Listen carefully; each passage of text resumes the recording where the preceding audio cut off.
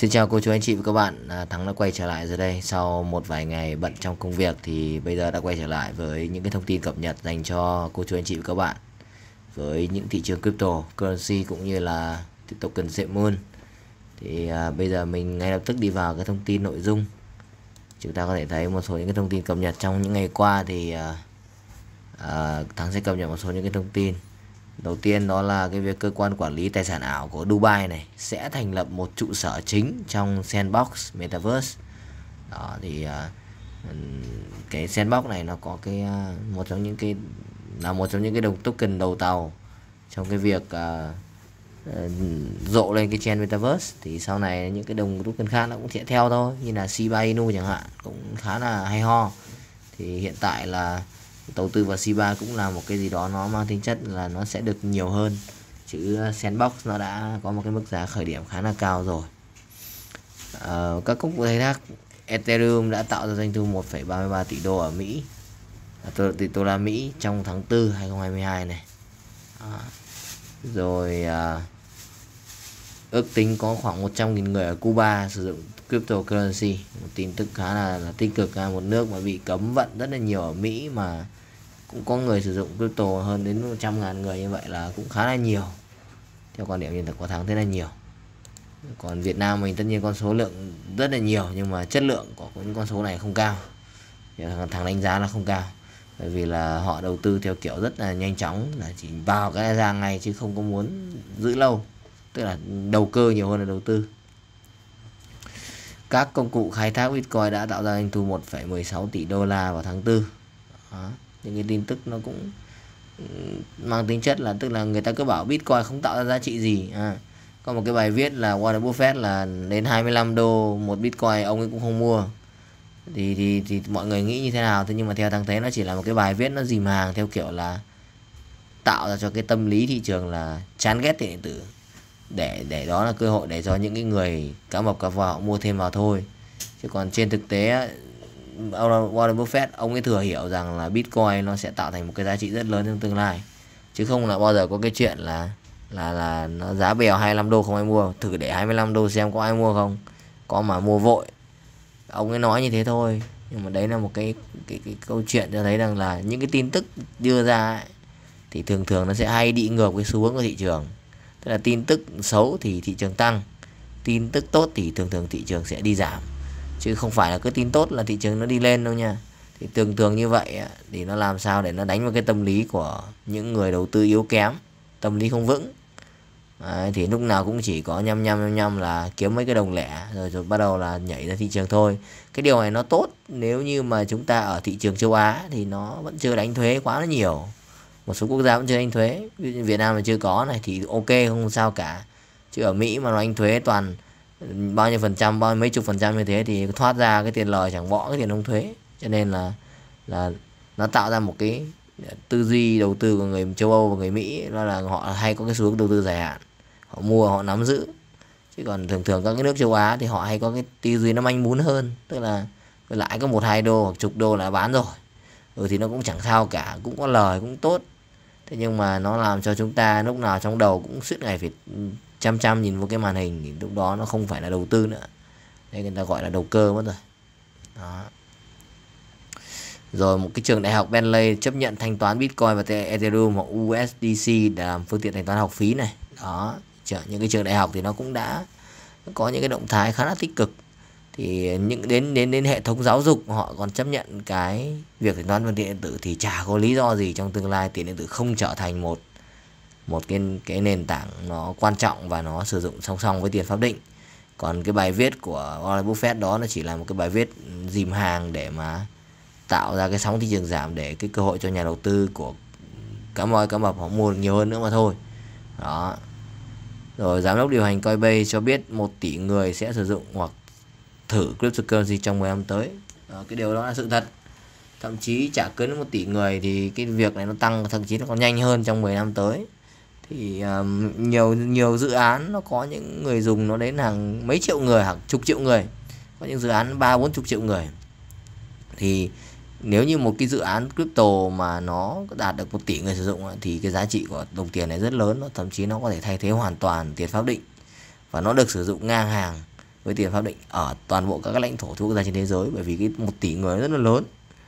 Vì mình bảo 7 tỷ người nhưng mà còn người già người trẻ người trẻ con đấy, người bé tí một tỷ người mà đã sử dụng crypto thì là họ đã, đã đã tạo ra gần như là một cái cộng đồng cực kỳ to lớn rồi.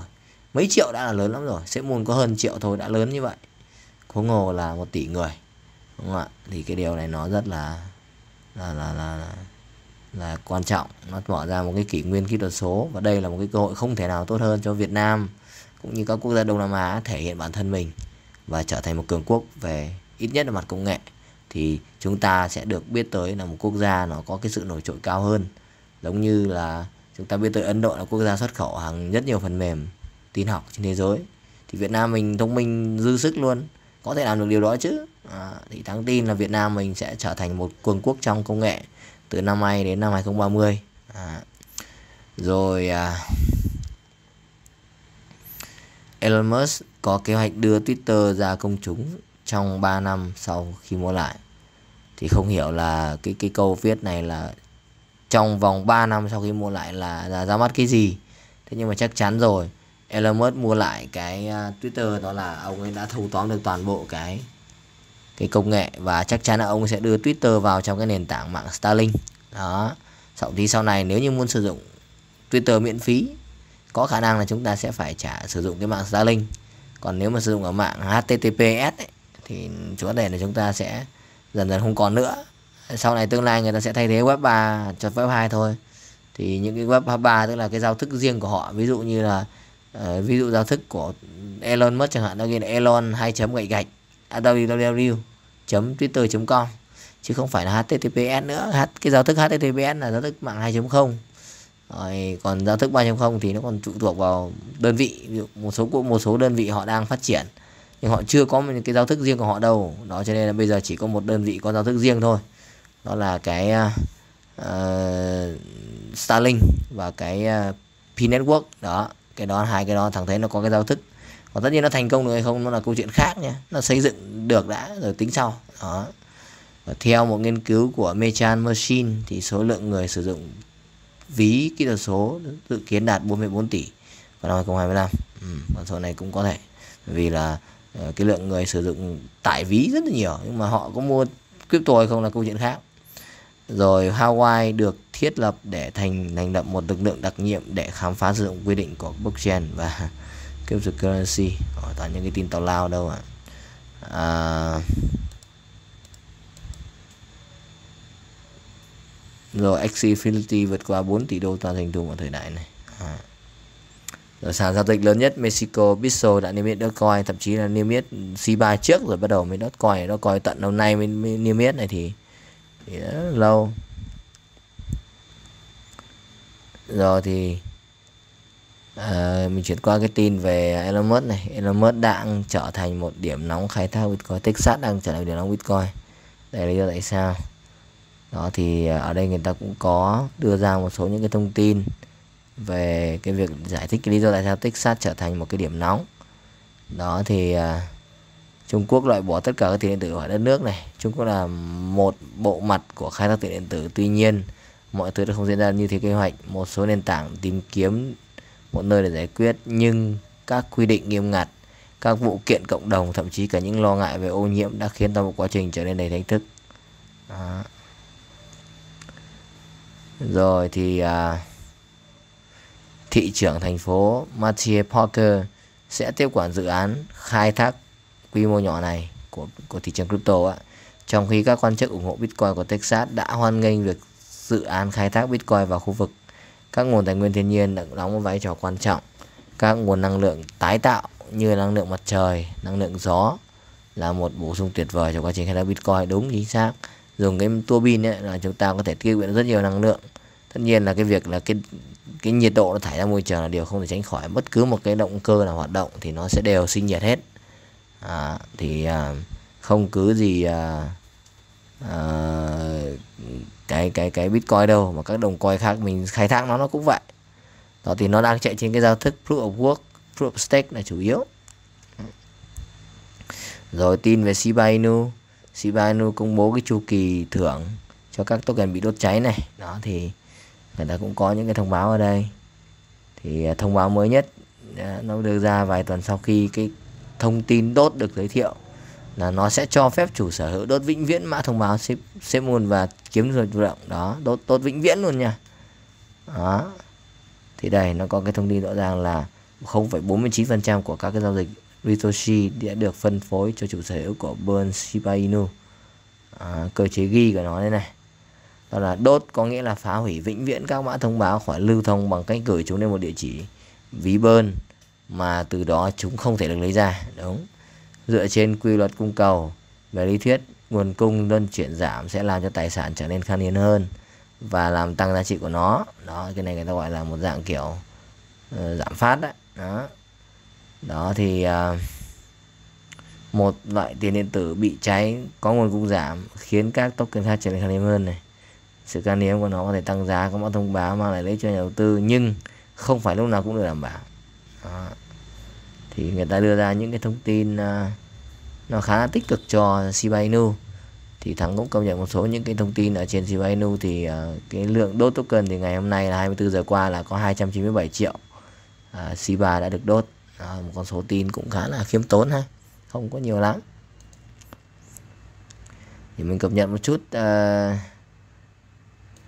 thông tin về Moon. Thì trước khi vào nội dung chi tiết như thường lệ thôi thì mọi người nhớ là những cái thông tin thắng chia sẻ nó chỉ mang mục đích à, tham khảo chứ không được coi là lời khuyên đầu tư. Cho nên là chúng ta hãy lưu ý là tham khảo những cái người à, chuyên gia cũng như là những cái trang YouTube hãng nữa. Cho nên chúng ta sẽ có những góc nhìn khái quát hơn về thị trường crypto cũng như là cái token Moon. Thì đó là cái điều mà thắng mong muốn cho chúng ta có được cái cơ hội à, ở một cái dự án kiểu như là Moon như thế này thì ngoài Moon ra có rất nhiều dự án khác. À, nhưng mà cái điều mà thắng cảm thấy dự án Semun nó khá là là, là là hay ho đó chính là nó gần gũi cuộc sống. Nó tạo ra được cái một cái giá trị. Và cái điều này nó nó thể hiện từ cái sự lạc quan rất là quan trọng của con người hướng tới những cái điều tốt đẹp hơn. Đúng theo cái tinh thần của đạo Phật đó chính là chia sẻ cho đi cũng như là là tạo ra giá trị cho cuộc sống. Thì sẽ muốn hướng đến cái điều đó. Thì cái điều thắng không quan trọng đó là cái thời gian nó như thế nào mà quan trọng là cái mục đích của nó nó hoạt động nó có được đúng như dự đoán của chúng ta hay không. Đó mới là điều điều quan trọng. Đấy. Rồi thì những cái thông tin cập nhật trên Moon Lowdown ngày mùng 4 tháng 5 à, Giám đốc điều hành John Kerry có thể được phát được phát hiện trong bức ảnh trang Instagram đây này. Chính đây là chính là John Kerry này thì à, đây là cái cuộc à, gặp của cái nhà đầu tư thiên thần Scott Powell. Đây là một nhà đầu tư khá là nổi tiếng. Nó có nhiều những cái đóng góp trong cái công cụ đầu tư à, của thị trường crypto. Đấy. Rồi thì Moon nằm trong top 10 những cái đồng coin trending à, à, của của cái à, nghiên cứu của trending trên nước Mỹ đó. Thì đây là những cái giá trị của những cái đồng coin.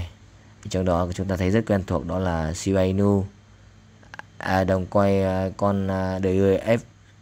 Rồi Bryce à, Saitama Dodge và Elon e, Elon Elon Dogma đấy. Đấy, thì có rất nhiều những cái đồng coin khá là phổ thông mà chúng ta đã biết. Đấy, có một số cái này chưa biết. Đấy, nhưng chủ yếu là chúng ta đã biết là Sepmoon Shiba Inu này à, cái Bitget này. À, thì nó đã rất là phổ thông. Rồi Saitama nữa Dogecoin nữa. Rồi nó cũng đã là rất là phổ thông. Đấy thì um, Thắng thấy có người comment trên cái ờ, story của Thắng là ờ, đứng top 4 mà sao giá mất 90% thì thực tế ra các bạn cứ để ý mà xem. Rồi các cái đồng coi khảo nó chả rớt giá chứ có phải mỗi xếp muôn đâu. Đấy, thì nếu bạn cảm thấy bạn kiên trì với token này thì bạn ở lại. Còn bạn cảm thấy không kiên trì được thì bạn hãy bán nó đi và bạn chuyển sang các token khác thì đấy là cái điều mà thắng khuyên chân thành bởi vì bạn không có sự kiên trì hay cái tâm lý bạn chỉ là những người phá hoại hoặc là luôn luôn đi than thở và complain ấy, thì bạn sẽ không bao giờ thành công được bất cứ một cái dự án nào cũng như là bất cứ một cái điều gì. Con người ta tích cực chả được thì cứ thích lôi những cái điều tiêu cực vào cuộc sống. Thì những cái người như vậy là những người sau này họ sẽ chẳng giải quyết được cái gì hết và họ sống nó chỉ chỉ mang tính chất gọi là để tô thêm cái cho cái cuộc sống này thôi. Và đấy là những người mà sẽ tạo ra những cái cơ hội cho những người khác làm giàu. Cũng tốt thôi. À. cho nên là các bạn à, à, có người người ta làm cho video youtube cho các bạn làm để bạn tham khảo thông tin thì cũng đã làm cái điều tốt rồi. Thì các bạn hãy tham khảo nó đi. Thế các bạn vô các bạn comment những cái tiêu cực nó giải quyết cái gì. Các bạn không thích xem thì các bạn ăn sắp. Đấy, các bạn sang kênh khác mà xem. Chứ thắng không yêu cầu các bạn phải ở lại. Cho nên là các bạn cảm thấy còn cái niềm tin với cái dự án ấy các bạn ở lại không thì thôi không sao hết.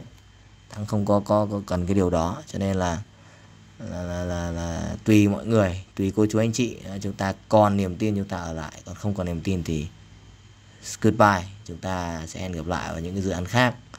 À, đầu tư nó là một cái quá trình dài thậm chí là 3 đến 5 năm chứ không phải đơn giản là là một hôm là xong. Đó chứ không phải thắng làm cái này để câu view rồi gì đó đúng không?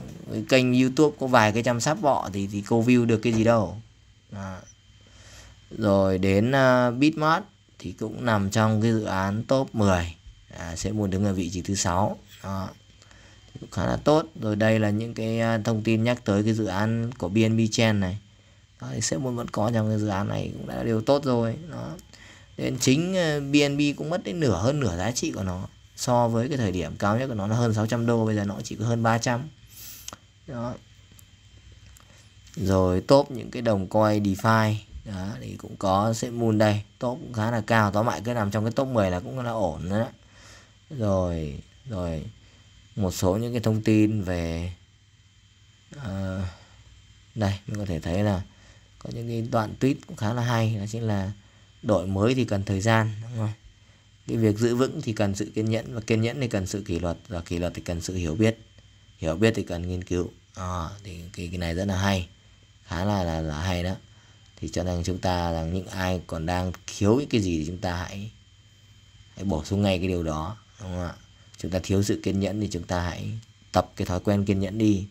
Chúng ta tập tĩnh tâm lại chúng ta hãy tập uh, xem là chúng ta muốn gì chúng ta cần gì ở cái điều này mà chúng ta là nên là nên làm gì? Rồi khi mà chúng ta có cái sự kiên gì rồi thì chúng ta phải có sự kỷ luật. Tức là ông đặt ra một cái mục tiêu là ví dụ sẽ mua một đô ông mới bán thì ông đừng có bán cái lúc nó gần một đô. Đó, ví dụ như thế. Thì ông cứ cứ chưa thấy ông đã toáy lên là ông định bán rồi thì thì thì nó lại nó mất sự cái sự kỷ luật đi. Thì cái điều này nó nó không quá ảnh hưởng nhiều lắm. Thế nhưng mà nó sẽ gây cái sự nó thành một cái thói quen rất khó bỏ của của chúng ta. Đó, rất nguy hiểm đó cho nên là thiếu cái gì phải bổ sung ngay cái đó thôi. Nó giống như kiểu các cụ mình hay nói là sai thì sửa mà chữa thì đẻ đó, à, như vậy đó. à, thì chúng ta phải làm sao chúng ta rèn được cái điều đó. Còn nếu mà chúng ta không làm được thì không nên đầu tư cái gì hết. Chúng ta nên trở thành một employee làm công ăn lương thôi. Như vậy cũng đã là tạo ra cái giá trị cho cuộc sống cho xã hội rồi. Chứ không cứ phải là cứ nhà đầu tư hay là cứ phải làm business thì mới là tạo ra giá trị không phải ai mà cũng làm business ai cũng làm nhà đầu tư thì ai làm thuê. À, đúng không ạ? Cái điều đó là cái điều nó hết sức là là cần thiết. À, phải có những người sinh ra để làm thuê có những người sinh ra làm chủ có những người sinh ra làm nhà đầu tư. Thế mới là cuộc sống thế mới là xã hội. Thậm chí có những người sinh ra làm nhằm nhằm làm sư chẳng hạn. Làm uh, các cái thầy tu đó người ta đâu có đóng góp gì về mặt kinh tế đâu đúng không? Nó chỉ có tiêu tốn thêm thôi nhưng người ta đóng góp về mặt tinh thần về mặt tâm linh cái điều đó nó rất quan trọng vì con người ấy, không phải chỉ sống về vật chất mà con người cái cuộc sống tâm linh nó cũng rất là quan trọng. Ở đây chúng ta có thể thấy là chúng ta có cái uh, swap date đây là cái vấn đề cập nhật về swap này. Thì khối lượng giao dịch nó đang uh, giảm một chút. À, thì cái xung lực bán mua chúng ta cũng có thể thấy là lượng mua ít hơn lượng bán. Và mới đây nhất thì chúng ta có cái một cái con cá voi nó vừa mới bán cách đây chắc cũng mấy chục phút thôi. Nó bán một cái số lượng khá lớn chắc chắn nó làm cho giá sẽ muốn giảm thôi đó bán 1,2 tỷ sẽ môn này. Đó. Con số khá là lớn 1,24 tỷ. Và nó sẽ làm cái giá của sẽ môn nó bị sụt ngay lập tức. À, thì thắng sẽ cập nhật ngay cái lượng đốt token. Ở trong 24 giờ qua của xếp môn nó là 44 triệu hơn 44 triệu. Cái mã thông báo xếp đã được đốt. À, cập nhật một chút xem cái giá của xếp nha trên cái uh, trading view này thì trên trading view thì chúng ta có cái mức giá của xếp môn xem. Rồi xếp môn đang ở giá mức 497 nó lên rồi này. Đấy nó lúc nãy thắng xem nó là 48 à, bao nhiêu đó rồi các cái đồng coin khác như ETC này đó đợt trước nó lên à, 50 đô này cũng không có bán bây giờ nó lại xuống 27 rồi thì cũng phải chịu thôi. Rồi Solana cũng thế nó lên cũng trăm đô không có bán lại để đó rồi Bitcoin cũng thế.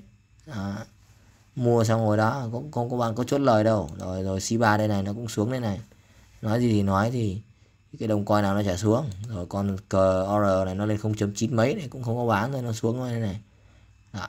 thì, cái cái cái việc đầu tư nó là cái điều tất yếu. Còn chúng ta đầu tư xong rồi chúng ta tốt nhất là quên nó đi. Ta làm việc khác thì nó sẽ có ý nghĩa hơn là cái việc chúng ta cứ tập trung nhằm nhằm nhìn vào cái đồ thị thì mình check qua cái chỉ số sợ hãi tham lam một chút. Thì cái chỉ số của chúng ta đang ở cái mức rất thấp đó là 21 điểm thôi cực kỳ sợ hãi. Đó, thì uh, con số này là con số mà nó um, nó cũng không đánh giá được nhiều lắm theo quan điểm của thắng là như vậy. Thì thời điểm này thắng cũng không có muốn quá nhìn vào cái màn hình nhiều bởi vì nhìn nhiều nó sẽ ảnh hưởng đến tâm lý. Và thắng còn phải nhiều việc khác làm nữa là công việc riêng của thắng nữa để kiếm tiền để để nuôi cuộc sống mình nữa chứ không phải ngồi mà, mà cứ nhìn vào cái màn hình nó chẳng giải quyết cái gì hết. À. Rồi mình chuyển qua Reddit một chút nha. Thì Reddit thì chúng ta có một số những cái thông tin cập nhật nó mang tính chất uh, khá là là hopium. Đó thì đây là một cái đoạn uh, về cái cái này. Thì này mình uh, nút dịch ra cho mọi người xem nhé cái điều mà bạn này bạn học được này. Đó đó là bất kể cái dự án nào có danh tiếng tốt hay xấu những người khác vẫn sẽ lao đầu vào đó khi họ nhìn thấy một số động lực đằng sau nó đó. những người bán tài sản của họ bị thua lỗ sẽ làm bất cứ điều gì để thấy dự án đó thất bại bởi vì họ đang tuyệt vọng để quyết định được mình được cái được xác thực à. tóm lại là hầu hết những người tham gia tiền điện tử đều dành cả ngày của họ để bám đuổi những ngọn nến xanh, đúng rồi thì tất nhiên là họ có thể kiếm được vài cái đồng bạc bạc lẻ trong cái thời gian đầu đó, thế nhưng mà cái thường thường họ họ sẽ mất thôi của thiên trả địa nó nhiều lắm. Cho nên là thắng không có thích làm trader là như vậy. Tất nhiên cô chú anh chị nếu ai đang là trader thì chúng ta vẫn cứ làm bình thường thôi. Nhưng mà cũng phải lưu ý, bởi vì thực tế ra là cái cái cái cái cái thu nhập của cái việc trader là nó không ổn định và nó có khả năng mất rất là nhiều nếu như không có kinh nghiệm. Mà thắng nói thẳng luôn, thắng không có kinh nghiệm làm trader. Để cho nên là mọi người đừng có hỏi thắng là chết như nào. Tốt nhất luôn là như thế. Thắng làm cái kênh youtube này để chia sẻ kiến thức những cái thông tin cập nhật thôi. Đấy, còn cô chú anh chị thấy nó còn giá trị thì mình cứ like share subscribe để chia sẻ cái video của thắng tới với nhiều người hơn. Còn thấy nó không có cái giá trị cả thì thôi lướt qua thôi. Chứ còn lại còn thò tay để ấn nút dislike làm cái gì cho nó mệt nữa là lại còn thò bàn phím xuống bấm bình luận những cái lời khó nghe làm cái gì cho nó mất thời gian. Thời gian nó quan trọng đừng làm những cái việc vô bổ như thế. Không thích thì thôi đi. Còn thích thì ở lại. Ờ, còn thắng rất là cảm kích trước cái sự đồng hành của cô chú anh chị trong cái thời gian vừa qua. Mọi người luôn luôn comment những cái lời động viên chia sẻ. Thì thế thắng nó là một cái động lực rất là tốt rồi. Thì thắng không có cần mọi người phải donate làm cái gì hết. Mọi người quý thì mọi người có thể donate cũng được. Thắng rất là cảm ơn nhưng mà không có bắt buộc. Đó. Thì, thì, thì, thì mọi người có thể coi cái kênh youtube của thắng là một cái tham chiếu à, một cái góc độ nào đó và chúng ta nên tham khảo thêm những cái kênh khác để chúng ta có góc nhìn đa chiều hơn. Chứ thắng phân tích thì tất nhiên nó chỉ mang tính chất cá nhân thôi. Thắng cũng chỉ là con người, cho nên thắng sẽ có những cái sai lầm. Chắc chắn là sẽ có. Nên là rất mong mọi người thông cảm. Đó. thì thì à, thì mọi người nên nhớ rằng là đầu tư nó sẽ là một cái gì đó nó dài hạn. Chúng ta nên để đầu tư ra một bên. Và chúng ta nên tập trung vào cái công việc của chúng ta nữa. Chứ đừng có nhăm nhăm nhìn vào những cái cây nến xanh đỏ nó cũng có những người họ coi đó là một công việc nhưng mà theo thằng nghĩ nó không nên là một công việc nó chỉ nên là một cái gì đó người ta gọi là side hustle thôi tức là part time job thôi thì sẽ tốt hơn. Chứ nhìn vào đó nó stress lắm. Rồi cuộc sống này nó đủ mệt mỏi rồi chứ nhìn vào cái nến thì đã mệt lắm rồi không có sức làm gì hết. Thì cũng cố gắng làm cái video để chia sẻ những cái, cái quan điểm cá nhân cũng như là kiến thức cập nhật một chút về cái uh, dự án Semun nói chung về cơ bản thì giá của nó thì đang đi xuống. Đó, thì cái việc này nó là tốt hay xấu thì tất nhiên nó đi xuống thì chẳng có gì là tốt cả. Thế nhưng mà ờ, dối giống như kiểu Warren Buffett cũng nói thôi đó là hãy sợ hãi khi thị trường tham lam và hãy tham lam khi thị trường sợ hãi. À, còn mọi người muốn đánh giá nó như nào cũng được thì theo quan điểm của thắng rồi. Quản lý vốn vẫn là điều quan trọng nếu như bạn quản lý vốn không tốt thì cái tâm lý của bạn sẽ làm cho bạn cảm thấy hoảng loạn và bạn cảm thấy chán nản với cái việc bạn đang làm. Cho nên là đó thì nếu cô chú anh chị và các bạn có những cái thông tin à, à, có những cái thông cái vấn đề liên quan như vậy thì hãy ghé qua blog nguyễn thắng com của thắng. Đó thì rất đơn giản thôi vô google gõ nguyễn nam thắng com. Thắng viết rất nhiều những bài viết để giúp cho cô chú anh chị xả stress đi. Ví dụ như là tinh thần lạc quan này bốn điều cần làm để luôn giữ tinh thần lạc quan rồi đọc một chút những cái việc về à, những cái việc đi thiền, rồi chúng ta tĩnh tâm. Đó. Rồi có những cái bài viết thắng làm về quản lý vốn. Đó, những cái bài viết nó rất là thực tế như vậy. Rất ngắn gọn, xúc tích. Chúng ta đọc xong, chúng ta có thể thực hành ngay lập tức. Thắng là cố gắng đưa những cái thông tin nó gần hơn với con người của chúng ta, chứ không phức tạp hóa như là các bạn phải thế này, các bạn phải thế kia, cô chú anh chị các bạn phải thế này, thế kia. Không không phải làm cái điều đó. Hãy làm mọi thứ một cách đơn giản hơn, thì chúng ta sẽ không bao giờ bị cái tâm lý trong cái đầu tư cũng như là làm bất cứ một cái việc gì cả. Thì nếu mà chúng ta không giữ vững được cái tâm lý á, chúng ta chắc chắn là chúng ta hoảng loạn và chúng ta bán tháo đi thôi. Rồi giống người rồi đến một cái lúc nào đó đừng có để hối hận. À, như rất nhiều người đã từng hối hận về cái quyết định của mình. Bởi vì là tất cả mọi sai lầm đều phải trả giá bằng tiền chứ không có cái sai lầm nào là miễn phí cả. Đó. Thôi thì video đến đây là kết thúc. Cảm ơn cô chú anh chị và các bạn đã quan tâm theo dõi hy vọng là những cái chia sẻ của tháng nó uh, nó mang lại được cái giá trị nào đó cho mọi người. Và hy vọng là mọi người còn yêu quý thắng thì vẫn luôn ủng hành cũng như là ủng hộ kênh seven News Today và cái blog kênh thằng.com thì thắng làm uh, tất cả những cái điều này cũng chỉ vì mong muốn chia sẻ một cái điều gì đó cho uh, cộng đồng thôi chứ không có mong muốn cái mục đích trục lợi hay là đợi cái gì cả. Bởi vì cô chú anh chị cũng biết rồi đó. Ờ, uh, Sipmo nó không có cái tính năng người ta gọi là giới thiệu cũng như là nhận được hoa hồng hay gì hết đó không có thực sự không có. Thế cho nên là nếu như chúng ta quý thắng thì chúng ta không cần phải donate thay cho thắng đâu. Chỉ cần vô đọc những cái bài viết của thắng cũng như là click vào những cái quảng cáo như thế này cũng đã là giúp thắng rất là nhiều rồi. Thì đến đây video xin được kết thúc. Xin chào và hẹn gặp lại mọi người vào những cái video tiếp theo.